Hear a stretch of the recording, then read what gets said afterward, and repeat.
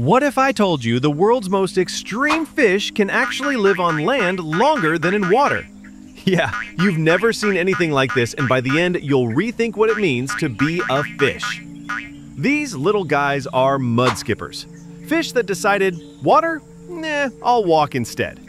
They breathe through their skin and mouth lining, but only if they stay wet. Therefore, they roll in mud like it's sunscreen. But here's the crazy part. They use their fins like arms to hop across land and even climb trees. Yep, climbing fish. You might think that's wild, but it gets weirder. Males dig underwater burrows for air storage.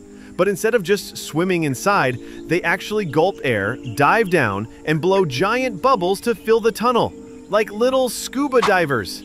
And here's where I re-hook you.